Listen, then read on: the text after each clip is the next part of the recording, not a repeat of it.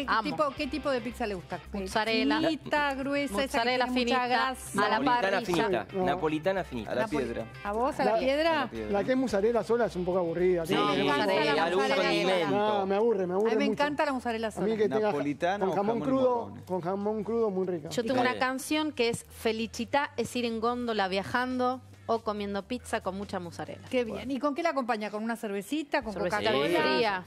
Dice una marca. Y Romy Sí. me va a dar la razón de que la pizza este, es tan rica dependiendo de la mm, cualidad de las manos del Sí. pizzero. Bueno, Sí. ¿Cómo Sí. será la del futuro? ¿Cómo será la del futuro? Bueno, parece que más industrializada. No. Eh, eh, ¿Vieron cuando se habla de los robots en, en la actividad industrial? Que Un robot asocia como...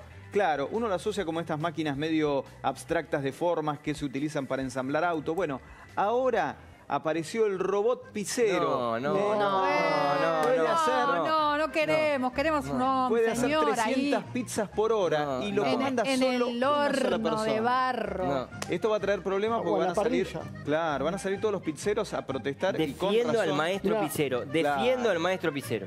Qué Acá se va a necesitar ¿no? un tutorial para entender las Mirá, lecciones del maestro Poner pizzero. la salsa, la mozzarella y arriba el tomate. Bueno, Claro. el maestro pizzero Igual, la, va, la va a cargar espera. a la máquina como tiene que hacer. Sano, esto sí. puede funcionar por ahí para las, las pizzas que se venden, En, en gran cantidad. eh, claro, en Congeladas. el. Pero nada mejor Y que la, que la, madre, masa, el la, amor, la masa apellido. amasada y si es de masa madre mejor. Totalmente. Bueno, fíjate bueno, acá la ponerle el, to- el, to- el toque es finita, humano. tiene 30 centímetros de diámetro. Bueno, ahí se pone la salsa como unos chuf chuf chuf de salsa, después viene la mozzarella y después viene el pepperoni. Claro, una pizza un poco americana. Esta Claro. maquinola se la presentó en la CES, que es la Consumer Electronic Show, que es la feria de Las Vegas, esta que se hace De todos los años, sí. de tecnología, que, eh, bueno, siempre presenta cosas muy curiosas. Y si bien esta firma que la desarrolla, esta máquina que se llama Picnic y que es una startup, es decir, presenta un proyecto y después busca financiación para llevarlo adelante a gran escala,